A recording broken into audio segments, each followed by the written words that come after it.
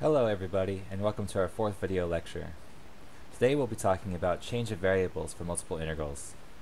This topic is motivated by u substitution, a very familiar topic to us for integrals with one variable. In u substitution, we rewrite an integral of the form integral from a to b of f of x dx as an integral from c to d of f of g of u times g prime of u du, where here x is g of u, a is g of c, and b is g of d. Graphically, I want to think about the function g of u as being a transformation from the u line to the x line. So here I've drawn a one-dimensional line, which I'm calling the u line, and a separate one-dimensional line, which I'm calling the x line. And g is a function which takes the u line to the x line. In particular, it takes the point C and sends it to the point A. And it takes the point D and sends it to the point B. So for a, a, simple enough function, it'll take the interval between C and D and send it to the interval between A and B. In other words, G is a transformation which takes the domain of integration of the first integral, which is going from a to b, to the domain of the second integral, which is going from c to d. The addition to the second integral in the form of g prime of u comes from the chain rule. I sort of like to think about it as an anti-chain rule, or a chain rule for integrals. For change of variable with multiple integrals, we'll have an analog of this, and we'll call it the Jacobian. This is a term that we also mentioned briefly when we talked about integrating in polar coordinates, as well as both cylindrical and spherical coordinates. Today, one of the things we'll do is analyze a little bit more about where this comes from in terms of the geometry. For double integrals, we can also do change of variables. In the previous discussion, our change of variables began with the substitution x equals g of u. However, here, we have a lot more freedom because for double integrals, everything is a function of two variables. So I have two variables that I want to substitute. So I also need to come up with a substitution for y. And I can substitute from two variables as well. So instead of x equals g of u, I can substitute x equals some function g of u and v, and y is equal to some function h of u and v. And this is my substitution now. As you might notice right away, the substitution can be a lot more intricate. For example, let's consider the substitution x equals u minus v and y equals u plus v. We can think about what this does as a function, and before, our transformation was going from the u line to the x line, but now it's going to go from the uv plane to the xy plane. So I've drawn my uv plane, and I've drawn my xy plane, and I'm thinking about the function here as a function from the UV plane to the XY plane. For example, you can see that it takes the point 0, 0 to 0 minus 0 and 0 plus 0, so it takes it to the point 0, 0 again. The point 1, 0 is taken from the UV plane to the XY plane to the point 1 minus 0, 1 plus 0 so the point 1, 1. The point 0, 1 in the UV plane is taken to the point 0, minus 1, 0 plus 1, so the point minus 1, 1. The point 1, 1 is taken to 1 minus 1, which is 0, and 1 plus 1, which is 2, so the point 0, 2.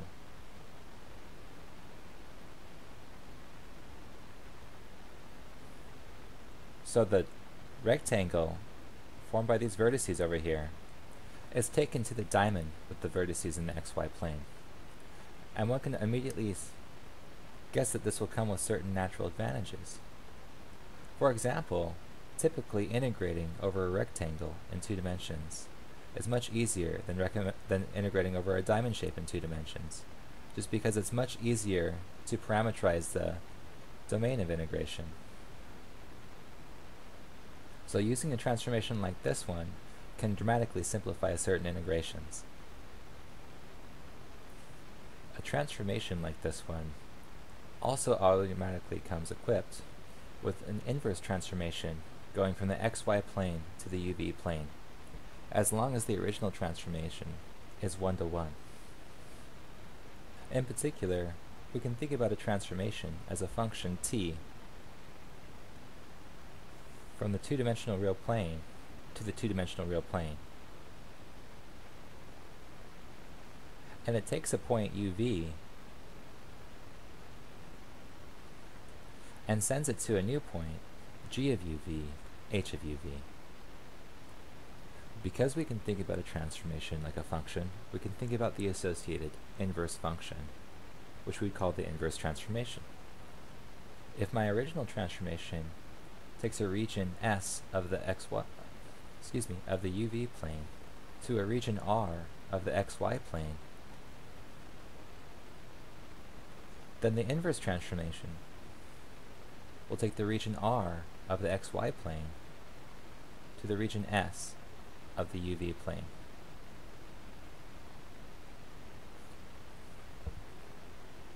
To figure out what the inverse transformation is, specifically, we use the same ploy that we do to figure out inverse functions. Remember, to find the inverse of a function f of x, what we did was we set y equal to f of x, and we solved for x. Because x will then be f inverse of y. So for example, if f of x is equal to x cubed plus 1, I set y equal to x cubed plus 1, then I get y minus 1 is equal to x cubed. And taking the cube root of both sides, I end up with the cube root of y plus 1, or sorry, y minus 1 is equal to x. And this is our inverse function. Specifically, this is f inverse of y. So f inverse of x is just obtained by replacing y with x. Specifically, it's x minus 1 to the power of 1 third.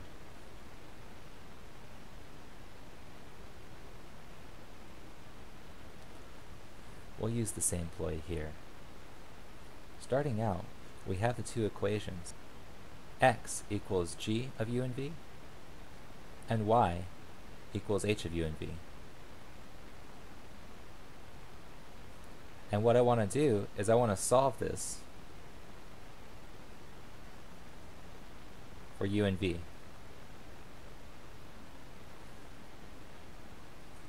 As an example of this, we can consider our previous transformation. There, x was equal to u minus v, and y was equal to u plus v. So I want to solve this system of equations for u and v. To start out, let me just solve the first equation for u. That says that u will be equal to x plus v. Now if I substitute this into the second equation, this results in the y equal to x plus v plus v. This tells me that x minus y, or sorry, y minus x is equal to 2v. So v is equal to y minus x over 2. And now that I know what v is, I can put that back into our equation for u. This gives me that u is equal to y minus x over 2 plus x, which I can simplify as y plus x over 2.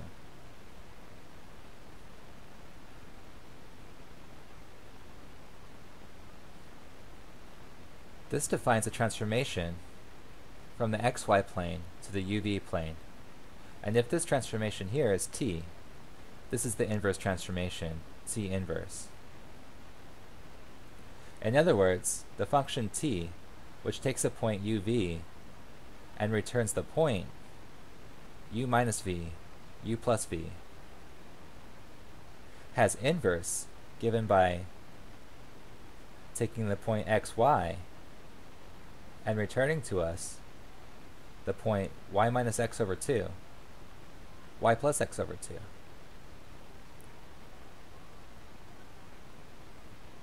Let's consider a second example.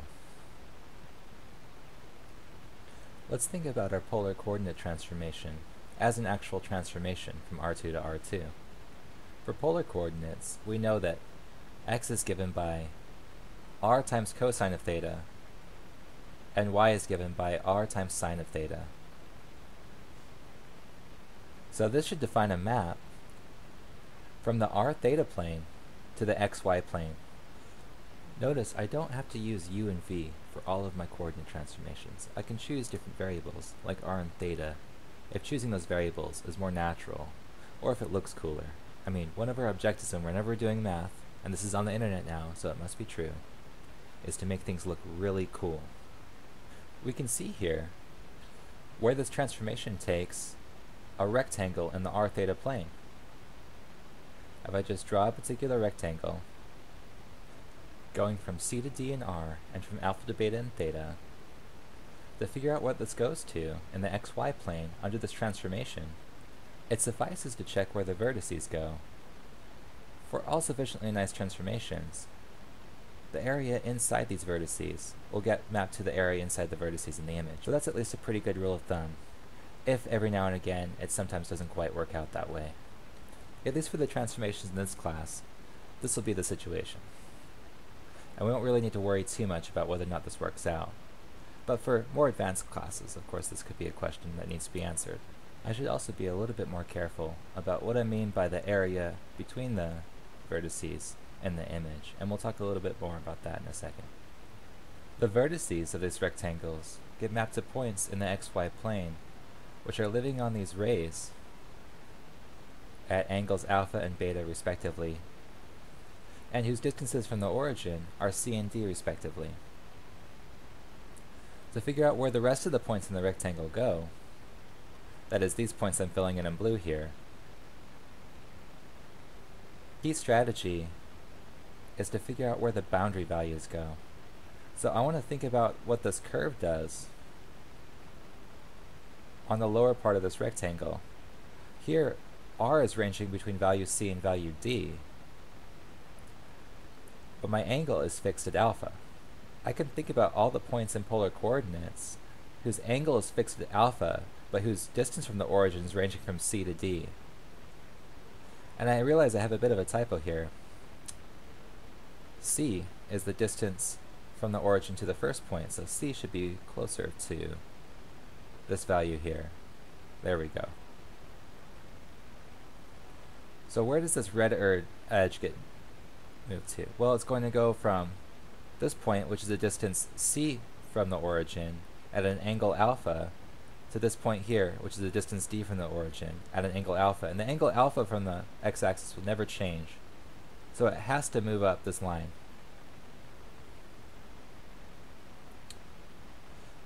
This edge here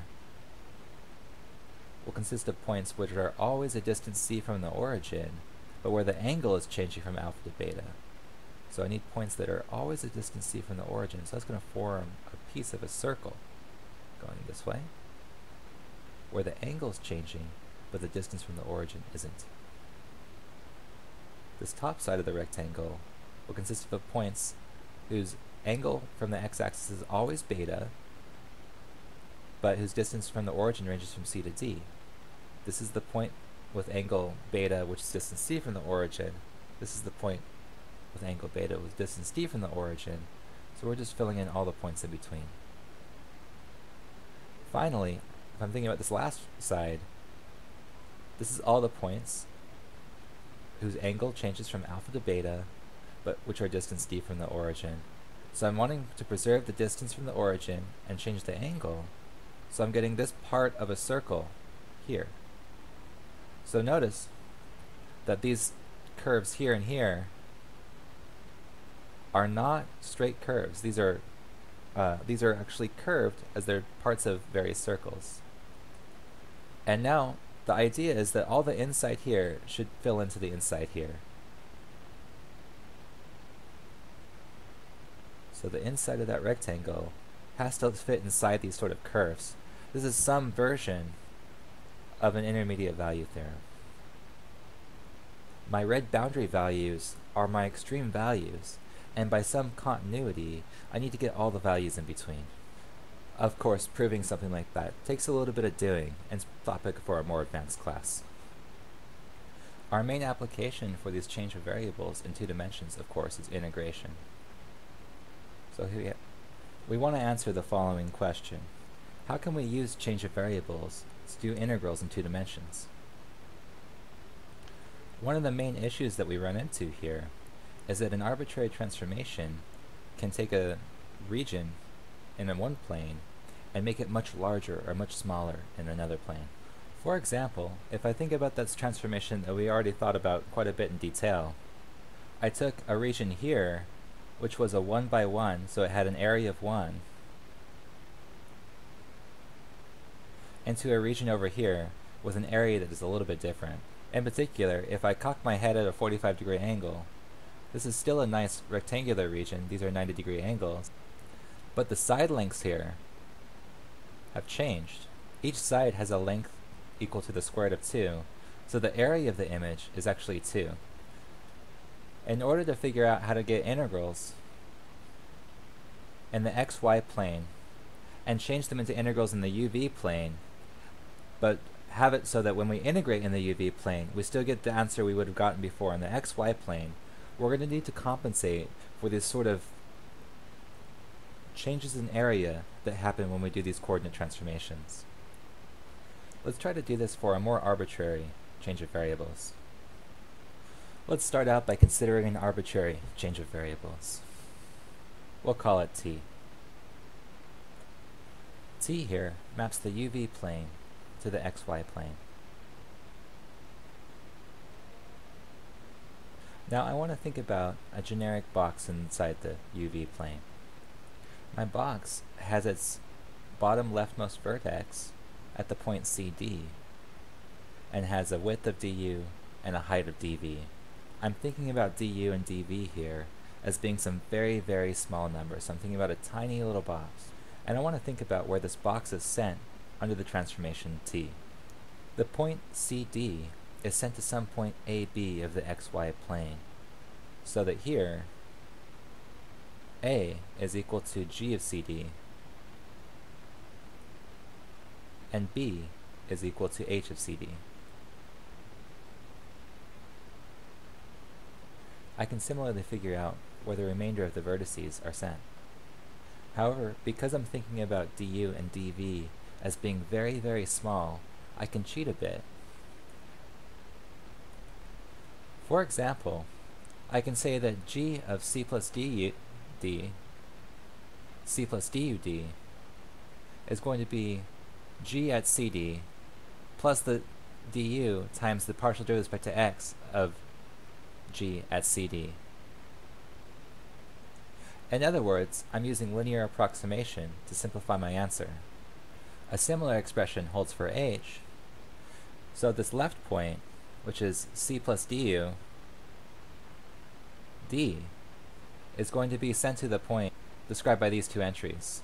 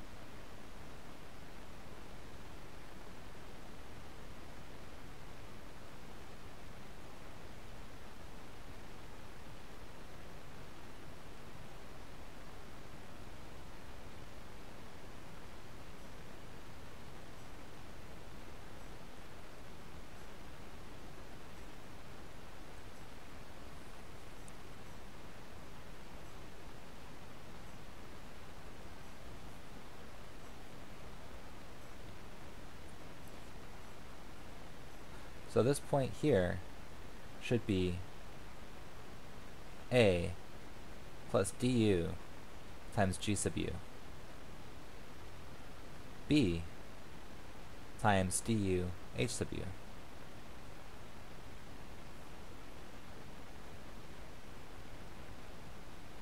Similarly, this point here in the UV plane will go to a certain point here in the xy plane.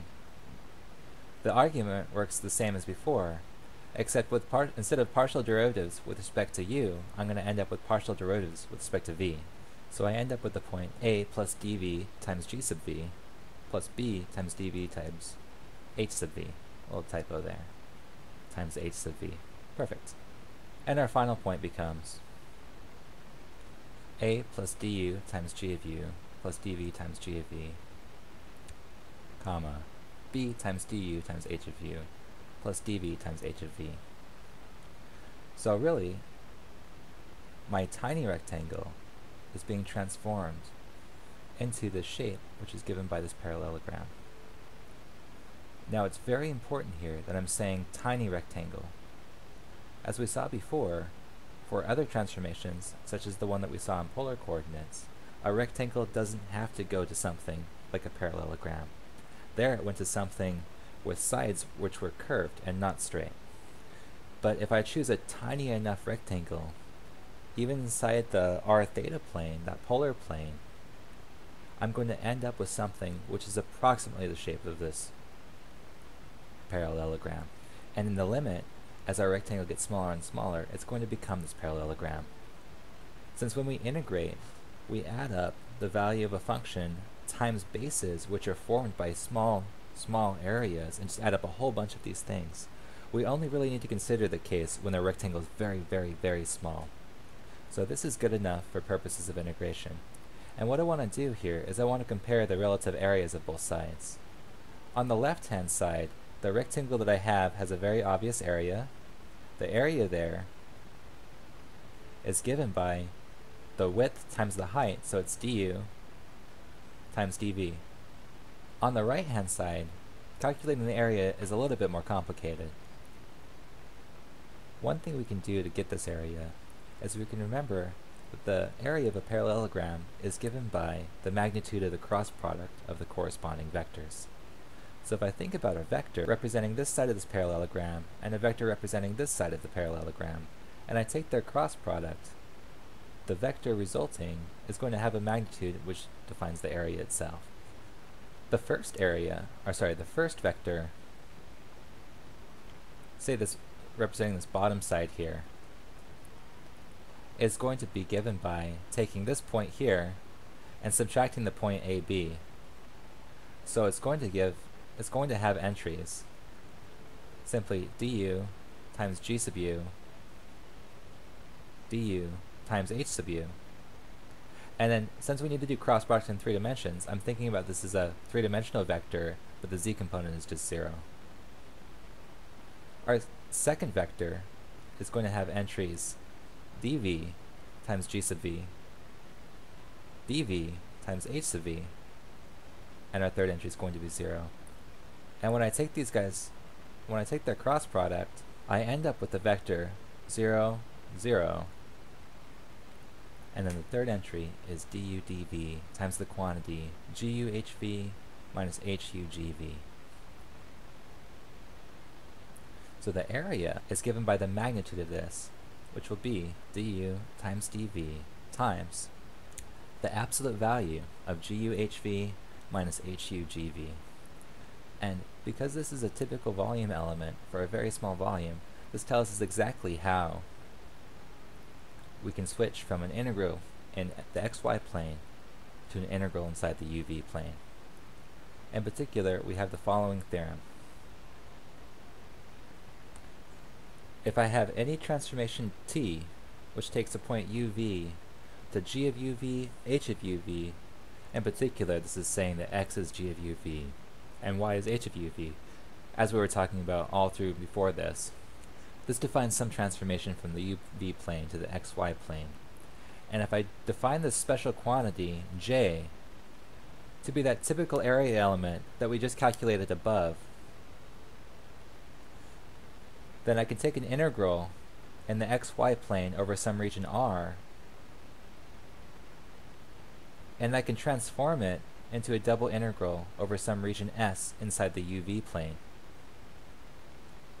The only difference here is that I'm going to add the special guy, which is the absolute value of JUV, in order to compensate for the fact that areas of different regions will change after we transform.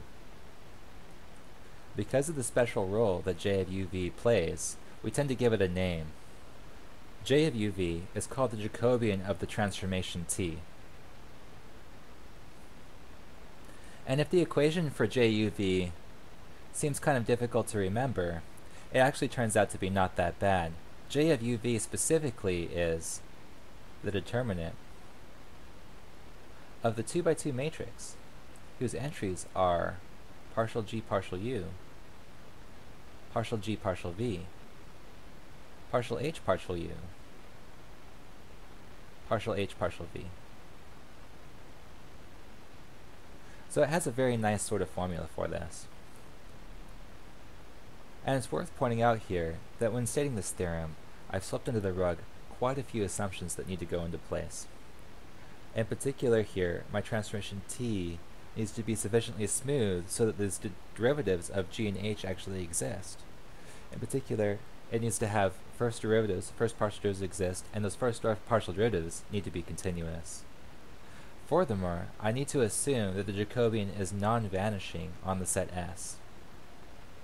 I also need to assume that f is continuous on R and that the transformation T is a one-to-one -one transformation from R to S. Speaking of which, I haven't actually told you what S is here. S should be the preimage of the set R under this transformation. That is to say, it's the image of R under the inverse transformation, which is why we were talking about inverse transformations earlier on. Another way to say this is that S is the way that we describe the previous region R inside the xy plane, but in terms of our new coordinates, u and v. This is an operation that we did many times before when we were converting things from regular Cartesian coordinates into polar coordinates in order to do integrals over polar coordinates. Oftentimes the way that we'll proceed with that sort of operation is of course to draw a picture, just like we did in the polar coordinate case. Let's consider an example. In this example, I want to calculate the double integral over r of xy dA, where here r is the parallelogram with vertices 0, 0, 1, 1, 1 minus 1, and 0, 2. So r is this diamond-shaped region here.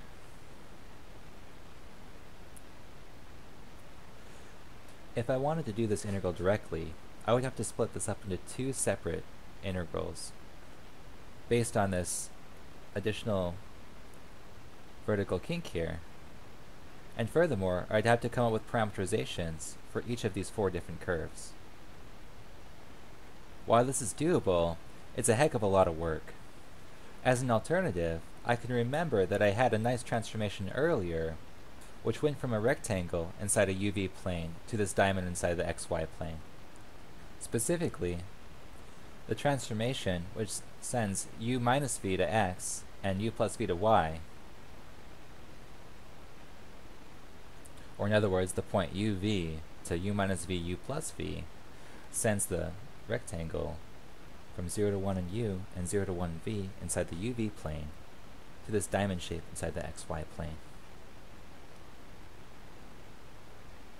So in terms of the theorem before, this is my region S, which is getting sent one to one to my region R over here. Now, if I want to convert this this integral in the xy plane to an integral in the uv plane, I also need to calculate the Jacobian. The Jacobian is equal to the determinant of the 2 by 2 matrix formed by the partial derivatives of g and h. Here, g is that function that x was set to, and h is the function that y was set to. So this is the determinant of the matrix, whose entries are, oh, and wouldn't you know it, I have a typo. So these are partial derivatives of functions of u and v, so instead of derivatives with respect to x and y, I need derivatives with respect to u and v. Sorry about that. Uv, uv. There we go.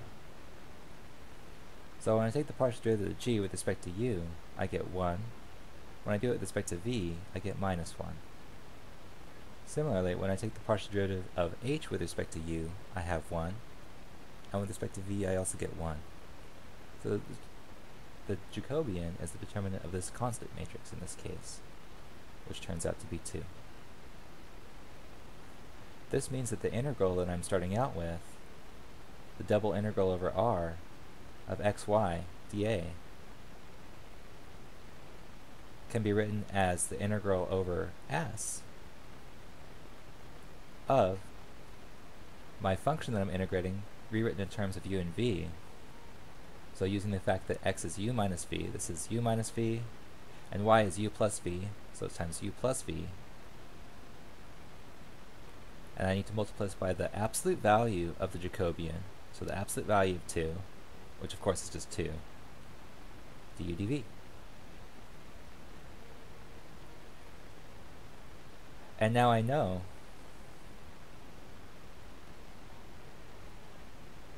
that S is a square domain going from 0 to 1 to 0 1. So this is just the integral from 0 to 1, integral from 0 to 1 of this quantity, which is 2 times the quantity u squared minus v squared, du dv. This is a very easy integral to do at this point. I do my innermost integral first, getting the integral from 0 to 1 of 2 thirds u cubed minus uv squared evaluated from 0 to 1. Whoops. And I should be careful here. That 2 was originally multiplying everything, so this term still has a 2 on it.